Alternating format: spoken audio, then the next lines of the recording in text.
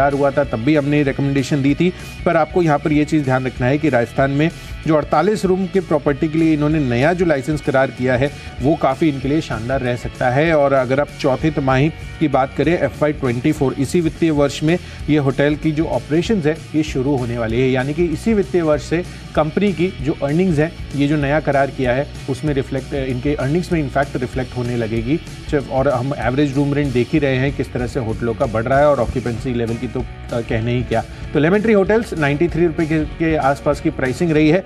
यहाँ पर खरीदारी कर चलिए एक सौ दस आज के लिए टारगेट बनेगा पिछासी रुपये का स्टॉप लॉस रखिए। Lemon Tree Hotels